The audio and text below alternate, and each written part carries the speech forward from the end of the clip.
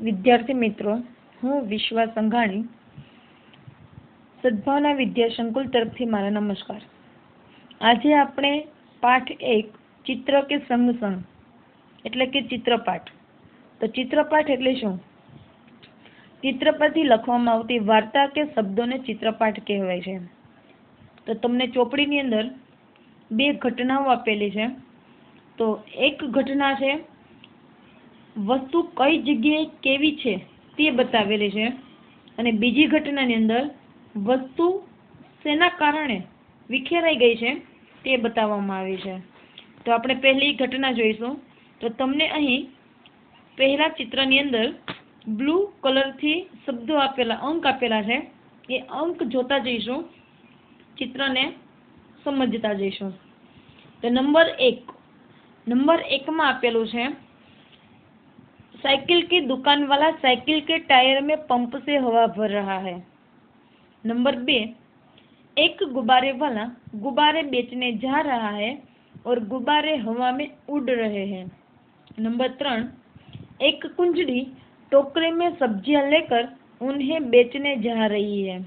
Number चार, एक कुत्ता रास्ते में लेटा हुआ है। नंबर पाँच, दुकान के डंडे पर तोता बैठा है। नंबर छ, सड़क पर एक व्यक्ति बाइक पर बैठकर जा रहा है। नंबर सात, बाइक के पीछे एक रिक्शा जा रहा है। रिक्शे में एक यात्री बैठा है। नंबर आठ, रिक्शे के पीछे दो कारें हैं। नंबर नौ, सड़क पर एक मोची अपने सामान के साथ बैठा है और शायद ग्राहक की राह देख रहा था। આ તમે જોઈ પેલી ઘટના. તો પેલી ઘટનાની અંદર નવ ક્રિયાઓ બતાવવામાં આવી છે અને નવે નવ ક્રિયાઓ તમે અહીં જોઈ છે. હવે એ જ બીજી ઘટનામાં જોઈશું. તો બીજી ઘટનાની અંદર તમને આપેલી છે છ ક્રિયા. તો એની અંદર જોઈએ કે શેના કારણે બીજી ઘટના આ રીતે બતાવવામાં આવી છે. તો ટાયર ફાટવાના કારણે બીજી ઘટનાનું દ્રશ્ય આવું જોવા મળ્યું છે. તો જોઈએ બીજી ઘટના.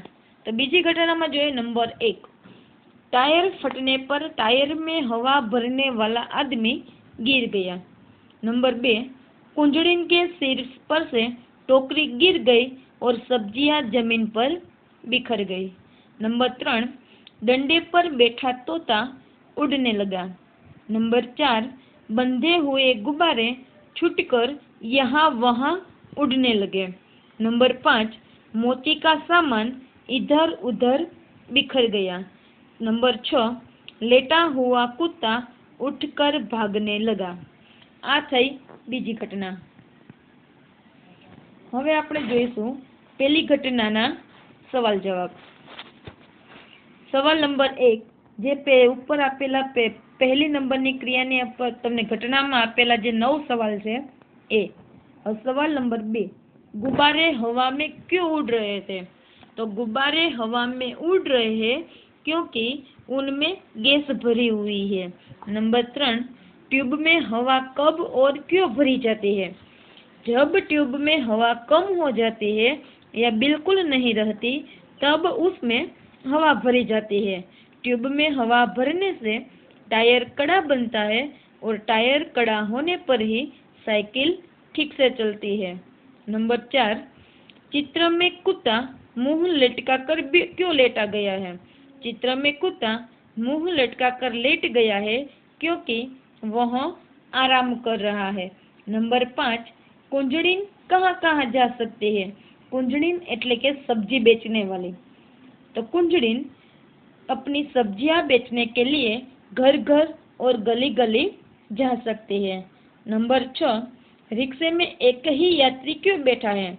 रिक्शे में एक ही यात्री बैठा है क्योंकि રિક્ષે વાલે કો દૂસરી સવારિયા નહીં મિલી હોગી તો આ જ રીતે આપણે જોઈએ ઘટના નંબર બેના સવાલ જવાબ તો એમાં તમે પહેલો સવાલ જોયો કે ટાયર ફટને પર ક્યાં ક્યાં હુઆ તો ટાયર ફટને પર ક્યાં ક્યાં હુઆ તો એ તમે જોયું કે ઘટના નંબર બેની અંદર આપેલું છે તો હવે જોઈએ આપણે સવાલ નંબર બે ટાયર કે અલાવા ફટને વાલી ચીજો કે નામ બતાવીએ के टायर के अलावा फटने वाली अन्य चीज़ें, जैम के गुब्बारा, फुटबॉल, बास्केटबॉल, तकिया आदि। रिक्शे वाला बाइक से क्यों टकराया? तो अँ ते जो रहा छो कि रिक्शा वालों से एक बाइक साथ शाटे जाए तो जो जुओ लोग जुओ के बाइक वाला गलत ढंग से रास्ता बदल रहा था इसलिए रिक्शे वाला बाइक से टकराया नंबर ત્રણ सॉरी नंबर चार टायर फटने का प्रभाव किन किन पर नहीं पड़ा તો આપણે ચિત્રની અંદર જોઈએ કે ટાયર ફાટવાના કારણે કઈ કઈ વસ્તુ ઉપર કોઈ ફેરફાર પડ્યો નથી तो टायर फटने का प्रभाव रिक्शा और कारों पर नहीं पड़ा नंबर पाँच मोची क्यों रास्ते पर आ गया तो मोची टायर फटने की आवाज़ से डर कर रास्ते पर आ गया। Thank you